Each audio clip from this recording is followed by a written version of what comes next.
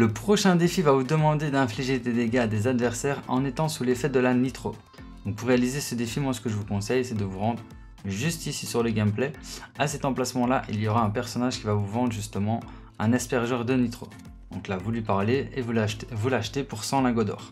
Alors bien évidemment, cet aspergeur de nitro, vous pouvez les trouver euh, un peu n'importe où sur la map, hein, euh, dans des coffres. Il y a même euh, des tonneaux que vous pouvez détruire pour obtenir cette nitro. Je sais pas s'il y en a autour de moi. Non, j'en vois pas. Mais voilà, il y a des tonneaux que si vous les détruisez, ça vous donne de la nitro. Et si vous passez aussi dans des cercles de feu, comme il y a en face de moi, là aussi ça vous donnera de la nitro. Donc là, regardez, je vais utiliser l'aspergeur de nitro.